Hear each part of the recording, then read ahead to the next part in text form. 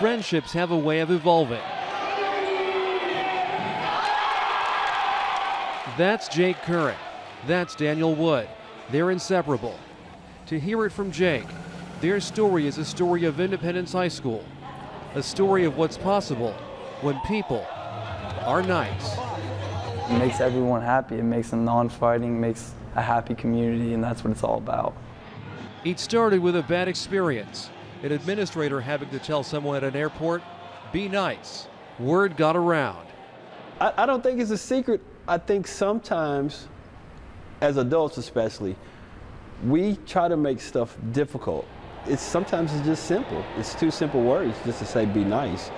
The idea took off, spreading to every school in the district, all 41. So many students have done so many nice things. The school has an entire wall dedicated to them. Then there was this night in January, the night the basketball team crowned Daniel coming home king. It was really a beautiful moment. We give them all the love we can give. Yeah, all best wishes for Jay.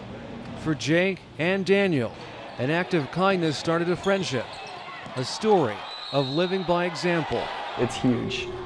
a reminder for all of us that sometimes the small things can make the biggest difference.